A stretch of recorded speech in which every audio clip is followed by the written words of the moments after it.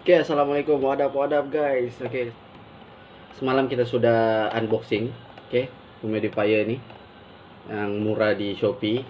Kita sudah unbox unboxing. So untuk malam nih kita akan buat cara-cara penggunaannya lah. Oke guys, cara-cara penggunaannya. So kita ambil dia punya nih balang nih, balang humidifier nih, buka dalam dia. Oke guys, pas itu sebenarnya dia ada filter tapi filter dia ada dijual juga lah boleh beli dalam 5 ringgit something gitu tiga batang lah dia akan bagi. So bu cara buka tarik. Siap ya guys? Saya tarik dulu. Kena tarik pelan-pelan guys. Nanti patah. Oke. Dalam nih dia ada satu filter tau guys. Ini filter filter dia. So ini kena tukar dalam dua bulan sekali. Dan kita kena belilah benda ni. Ini filter dia. So kita coba dan kita terus cara-cara masukkan cara-cara penggunaan dia. Oke okay? ambilkan satu gelas air.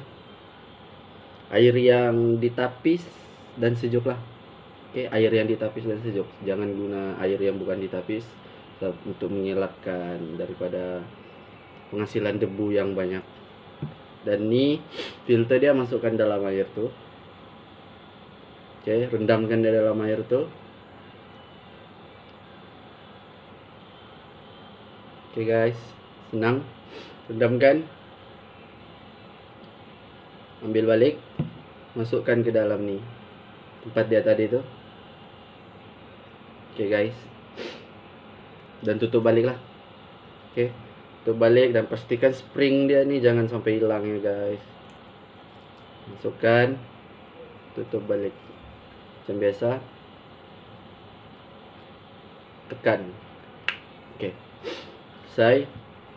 Dan ini balang tuh masukkan air. Dan ini cuma boleh masukkan air sebanyak 270 ml masukkan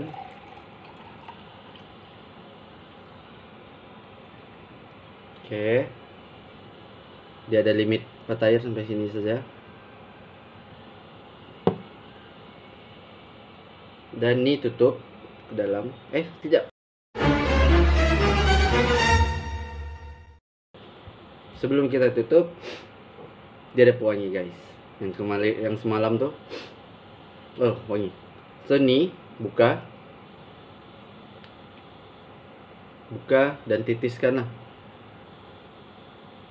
titiskan mengikut 1 2 3 4 5 oke kalau saya saya titis 5 titis. Saya tidak tahu lagi sama ada wangi atau tidak. Tapi memang dari tadi wangi lah serius gaulkan dulu dia guys. Dan tutup. Oke. Tutup ambil USB dia. Ini USB dia tidak ni ya. Dia tidak sediakan adapter so kita orang yang kena sediakan adapter atau tempat uh, penyucup ni lah. Menyambungkan USB ni guys. So saya sambung ke adapter pastikan kuat ya guys penutup dia. Oke okay, guys saya masukkan dalam ni. Pelan-pelan saya hidupkan dan saya tekan butang. Mantap ke guys? Macam guys? Untuk tekanan yang pertama dia cuma lampu. Oke? Okay. tekanan yang pertama cuma lampu. Cantik kan guys? Tengok. Oke okay, untuk tekanan yang kedua kalau tidak silap saya. Oke okay. tekan dua kali. Tak tak. Oke? Okay. tekan dua kali tatap baru keluar dia punya. Oke okay guys.